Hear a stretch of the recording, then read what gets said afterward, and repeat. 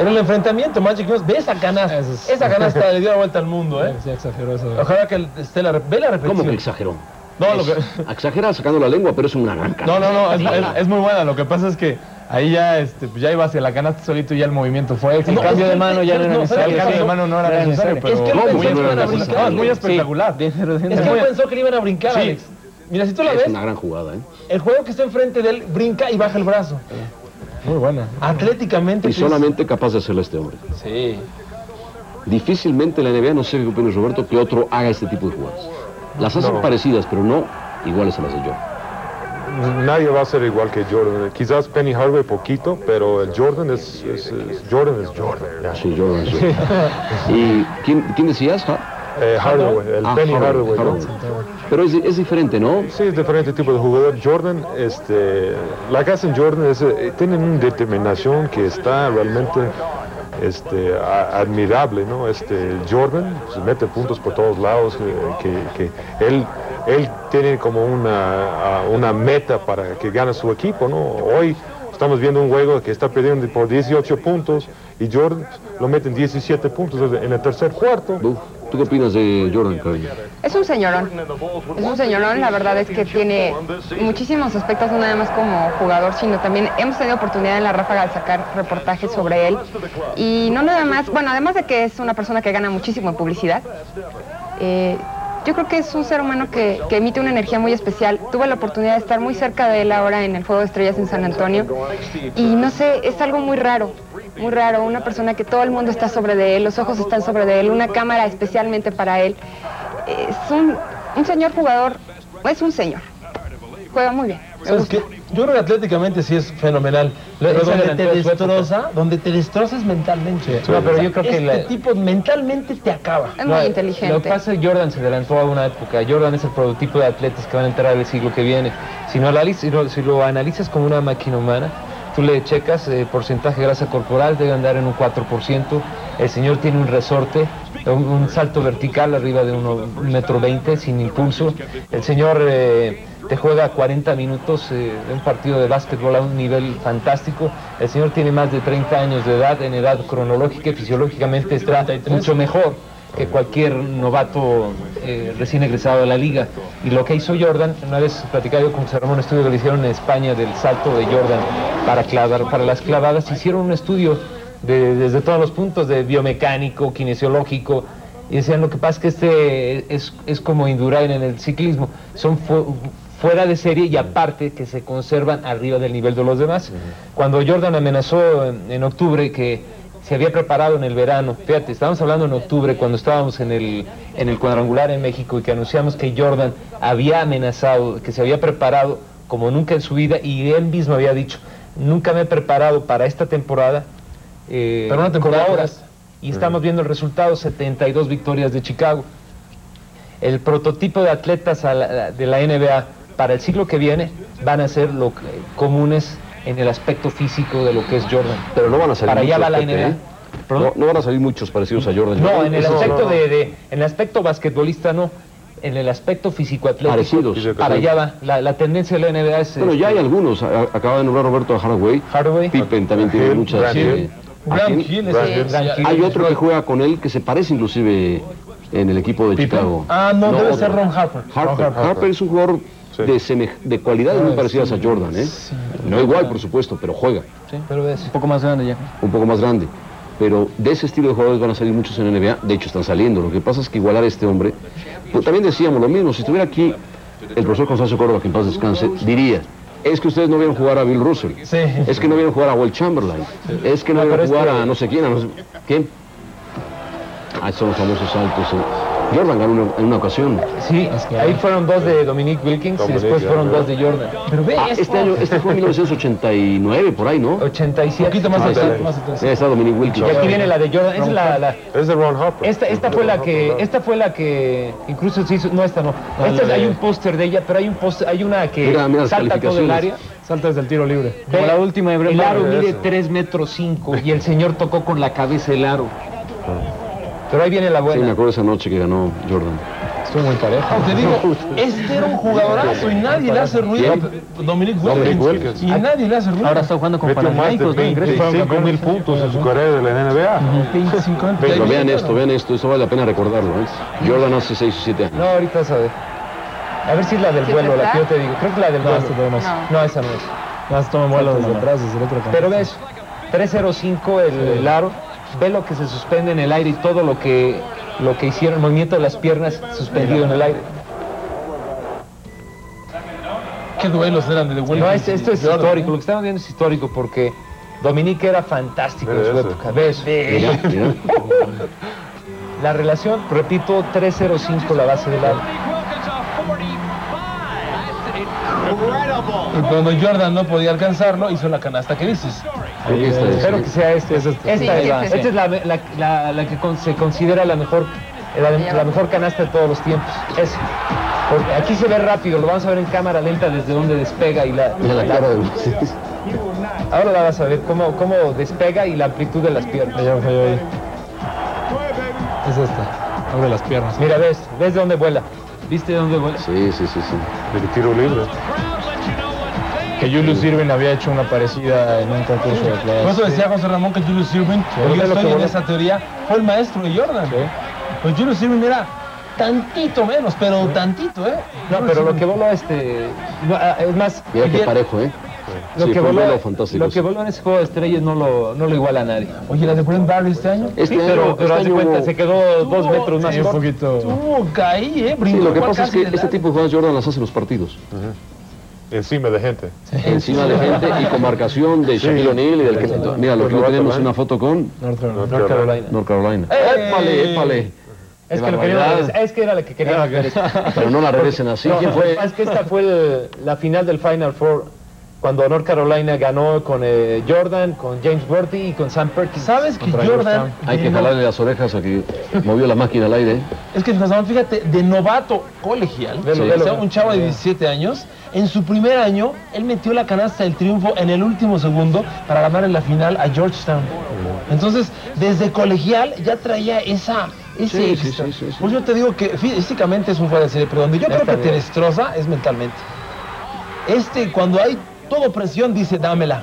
Cuando nadie quiere tirar, dámela. Pues es que de colegial jugaba igual que juega ahora, ¿eh? Le ganó a Houston ahí, ¿no? Un poquito más flaquito, Pero Houston. Y aquí está. Sí, había, ahora ha envernecido mucho Jordan. Sí. o sea, físicamente está muy fuerte, ¿no? Jugó solo dos años. Física. Dos años. ¿no? Estaba jugando con Sam Perkins y uh, James, James Worthy. Qué equipo. Se estila Pero es en el área, ¿no? Pues es mentalidad con Shaq, ¿no? Y, y también igual que, que el Penny Hardaway. Todos los jugadores de Orlando no tienen la mentalidad para... Mira, están arriba 18 puntos. Eso es cuando ellos tienen que ir por... Acabarlo, por- a- claro. El cuello. Acabarlos de allá en Chicago. Y regresando a Orlando, uno y uno. Ya está la serie en caliente, como estamos ahorita. Pero no, ahora Orlando tiene, va 2-0 abajo. Sí, ya no, No, se por eso. Bueno, es que ¿cuántos partidos perdió Chicago en su casa este año? En su casa, uno. ¿O esa temporada? No, Uno, dos, dos, dos, dos. Dos, dos juegos. Es muy difícil que llegue un equipo y le gane en, en finales de conferencia. Pero ¿sabes qué? Nueva York, qué cerca estuvo. O sea, Bueno, Nueva porque York, te Nueva York enseñó tiene más experiencia que Orlando. y tiene más músculo. Más músculo. Y el músculo ahí pesa Y mucho. quizá el entrenador también, ¿eh? Sí. Sí. Fíjate, ahí fuiste un punto que yo quiero mencionar. El hoy. entrenador. Siempre hablamos de los toros y Jordan, el coach José Ramón. El domingo estábamos en el partido. El coach, el entrenador de, de los Chicago. toros. ah, y el domingo en el partido, después de que Orlando estaba como 13 abajo, pum, pum, pum, pum, se acerca a dos. ¿Sabes qué hizo Phil Jackson? Entre otras cosas llega Pippen y mete uno de tres y se van cinco arriba.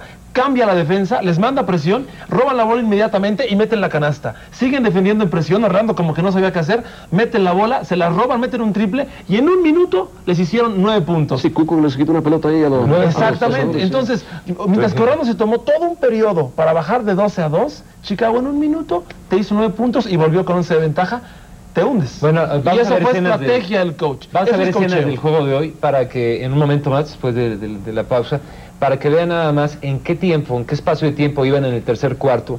Con 18 puntos de ventaja, terminó la primera mitad con 14 favoreciendo a Orlando. Yo estaba con Carlos viéndolo y yo dije, qué bueno, porque se va a alargar la serie, más juegos vendemos. Pues, eh, ¿Cómo? Más yo quiero- Te estás viendo demasiado vendedor, ¿eh? eh, y y yo, yo pensaba que ya estaba, digo, Oye, eh, Carlos, perdóname, 18 pero puntos. ¿sabes cuántos puntos de audiencia dio el partido de Chicago-Orlando marcados por Ibope? El domingo pasado. para esta empresa el domingo. Cuéntanos, ¿cuántos? Ocho puntos. Ándale. Es, es histórico, ¿eh? Claro. Bueno. Chicago. Sí. Claro, Hombre. no tenía fútbol enfrente, pero Es muy bueno. muy ocho puntos de Sí, promedio por Ibope sí. es histórico para el básquetbol, ¿eh? O sea, la realidad ser un Que en Estados Unidos, bueno, Chicago-Orlando fue un partido que paralizó mucho. Sí, el- Fíjate que la NBC reporta sus ratings más altos de los últimos siete años. Con Chicago. Con, eh, en toda la temporada. En toda la sí, temporada. y Chicago, Seattle, yo me imagino que va a ser Seattle. A lo mejor Utah levanta, porque Utah tiene un Utah muy buen tiene equipo también. Yo- Malone es un gran jugador. Yo creo que Seattle gana uno en Utah, cuando menos, y la serie se acaba cuatro. Alguien me decía que Utah, o lo leía en algún periódico allá en Edmonton, que Utah casi nunca gana fuera de su casa en juegos de Te lo playoff. platicó Pepe seguramente. Pero- El domingo lo platicamos Ah, mucho. pero no venía, Pepe le, yo estudié, venía. Y este y que en casa es muy difícil que le ganen. ¿Sabes cuántos ha ganado de visitante en playoffs Utah este año? Uno. Uno. Se lo ganó a San Antonio. Se parece Porque- al, al Veracruz. Bueno, vamos a una pausa y regresamos enseguida.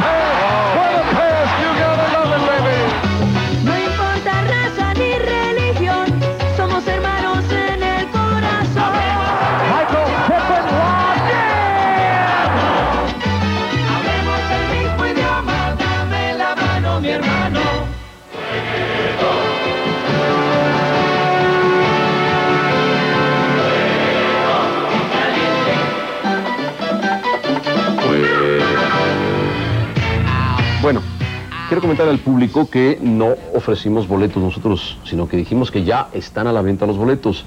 Más adelante, el torneo se va a jugar el día 26 y 27 de octubre de este año en el Palacio de los Deportes. Más adelante, no en este programa, en otro programa, ya que se acerque más el cuadrangular, haremos un programa especial y seguramente los organizadores, que es OCESA, nos darán algunos boletos para el público televidente. O sea, no se preocupen, por ahora, fíjate, apenas estamos en mayo, el cuadrangular es en octubre, falta todavía junio, julio, agosto, por septiembre a lo mejor o a, o a mediados de octubre hacemos un programa especial de la NBA con los equipos que vienen a ese cuadrangular, entre ellos viene Utah, viene también el equipo de Phoenix con Charles Barkley, Ah, ven- veremos a Charles Barkley, que es un gran jugador del que hemos hablado poco, es un gran jugador, Sí, sí, sí. lamentablemente El gordo le dice el gordo Barkley, pero es un gran jugador, El gordo mis respetos para ese jugador fuerte, poderoso, tal así que lo llevan por segunda ocasión a Juegos Olímpicos también, viene Cleveland, que tiene un gran entrenador, y viene Dallas. Dallas, Dallas, Mavericks. tres Tiene tres de los talentos jóvenes más Ya ha ido prometedores. levantando, ya es un mucho mejor equipo Dallas, ¿no? Mucho mejor, José Ramón. que tengo despeinado aquí. Bueno, pues, ah, qué horror. ya, estamos bien. Bueno, entonces eh, no hay boletos. Los boletos vendrán más adelante. Oye, decías de Barkley, Barkley. yo diría injustamente llevado al Dream Team de Atlanta, ¿eh? ¿Por qué justamente? Era Sean Kemp que debería ir. ¿A quién escoges tú? Mm, ¿Quién escoge a los jugadores que van al Dream Team? Mira, es un No, comité que... ¿Quién los por- escoge? el- la NBA es parte Aquí de está. la Federación de él, él- él es el que los escoge, ¿no? Lenny Wilkins es el coach. Bueno, me imagino. Ahí donde. Ahí. Venga, Lenny Wilkins. este es el hombre que los escoge. Pero era Sean Kemp, José Ramón, no Barkley. Bueno, pues hay que llamarle por teléfono y decirle al señor Lenny Wilkins, que es un gran entrenador, por cierto. Es el más ¿Quién es la gran figura? Así como era Larry Bird, Magic Johnson y Michael Jordan del Dream, del Dream Team que fue a Barcelona, ¿quién es la gran estrella? ¿Hakim? Yo Este- creo que es Hakim. Diría que Hakim. Malone, Reggie Miller, no Reggie Miller. No. No Hakim, diría que es que Hakim. Hakim es Shaq, ¿no? Sí, O sea, la figura es Hakim a pesar de que no nació en los Estados Unidos. Yo creo que la, la- la maravilla de esta versión del, del Dream Team, obviamente, es David Robinson. Hakim Olajuwon. Sí. Definitivamente Olajuwon Hakim. es- Y desde el punto de vista histórico, John Stockton Mira, no es una foto porque movió los ojos de... En Shaq. Sí. sí. está dormido. Mira, Siempre está con la boca abierta. Shaq.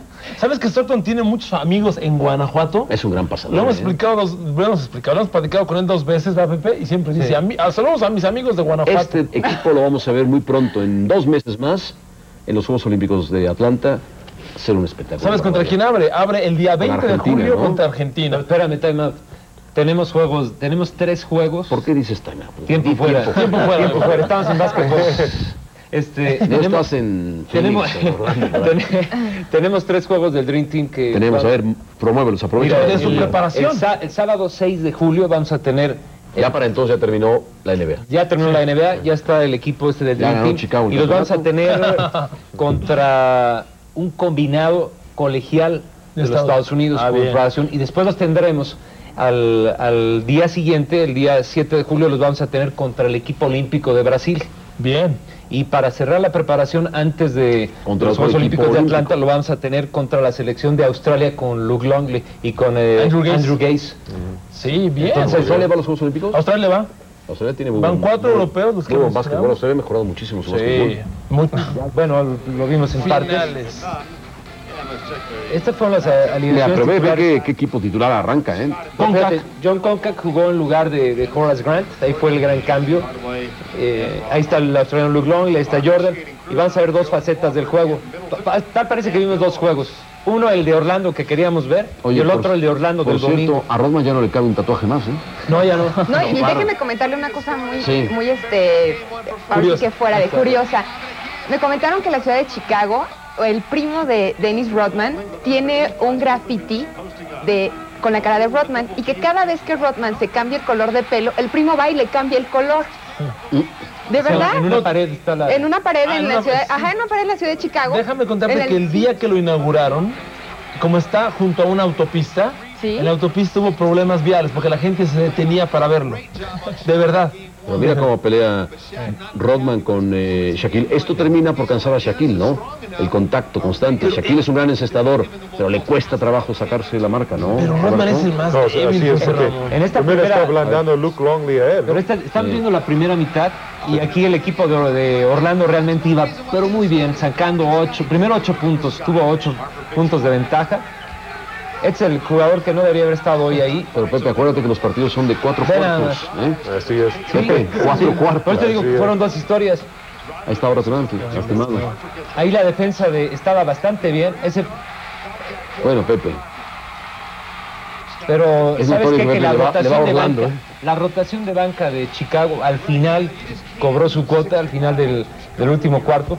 Estamos viendo, repito, ¿quién escenas. tiene mejor banca? No, Chicago. Chicago, Bueno, pues Chicago. eso es De fundamental. lejos, de ¿Y lejos. sabes qué, José Ramón? ¿Quién tiene mejor rebote?